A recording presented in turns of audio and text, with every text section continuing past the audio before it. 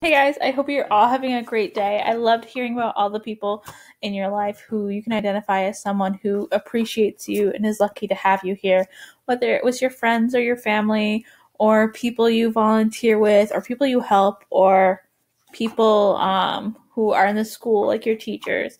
Like I said in the previous video, I appreciate you guys. I appreciate you guys showing up every day, and I appreciate that um, even though things are really hard um, for the most part, we're still working pretty hard.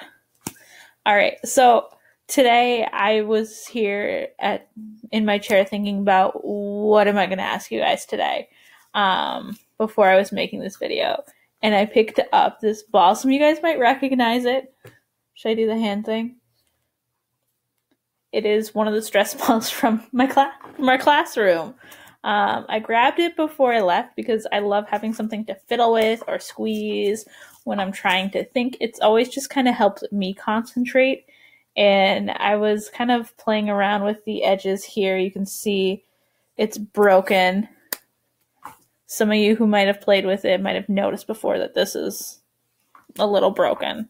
Um, and it reminded me of everything we've done in the classroom this year and it reminded me of you guys and how much I miss you guys. Like, I honestly miss being in the classroom with you.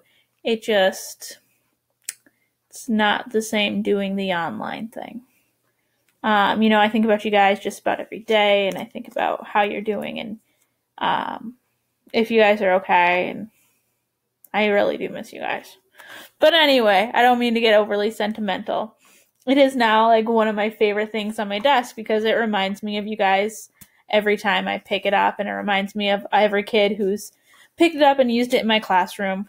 Um, and it is sincerely probably like my favorite thing that I even brought home from my from our classroom. Um, so, what I want to hear from you guys today.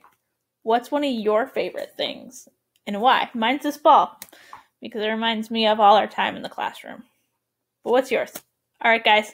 I'll see you later. I hope you have a great rest of your day. Bye.